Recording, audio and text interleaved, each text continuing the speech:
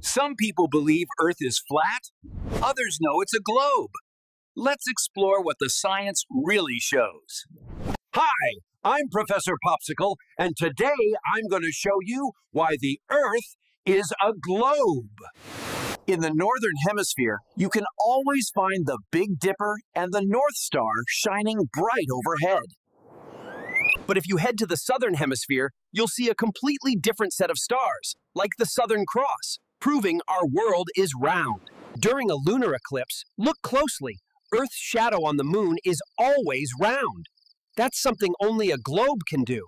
Only a sphere makes a perfect round shadow from every angle. Flat objects just can't do that. All around the world, sunrise and sunset happen at different times. That's because our round Earth spins, giving us time zones. If Earth were flat, day and night would happen everywhere at once. But on our spinning globe, it's morning in one place and night in another. We can travel all the way around the planet and come right back where we started. That's possible because Earth is a globe. Sailors, pilots, and even astronauts have all journeyed around our round world because Earth really is a globe. Near the North Pole, the North Star is high above, like a beacon in the night sky. As you travel south, Polaris drops closer to the horizon. That only happens on a curved planet.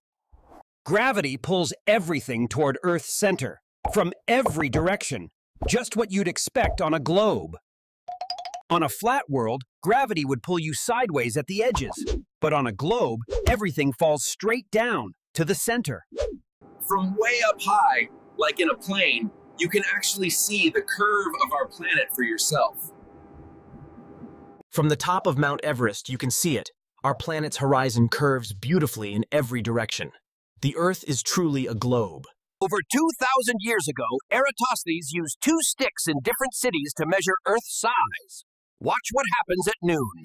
By measuring the angles of these shadows, Eratosthenes calculated the size of our round Earth. His math only works if the world is a sphere.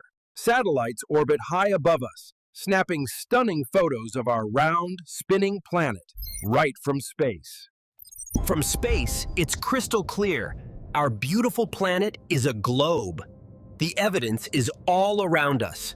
When you really test it, a flat Earth just doesn't work with physics. Gravity, water, and even day and night become impossible. When we use physics and just a bit of common sense, the globe always wins. Science proves it. The Earth is a globe. Thanks for joining me. Keep asking questions, keep exploring, and remember, science makes our world even more amazing. See you next time.